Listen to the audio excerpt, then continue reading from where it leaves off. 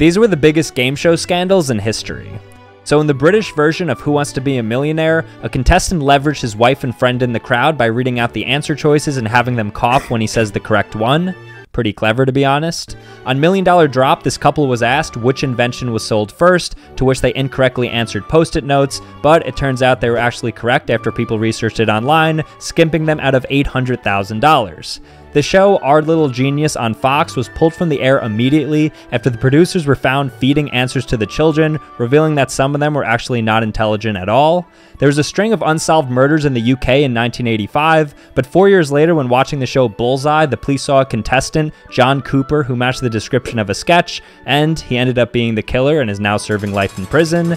And finally, on a Guess the Song show called Pasapalabra in Spain, a contestant was found using Shazam to help identify the songs.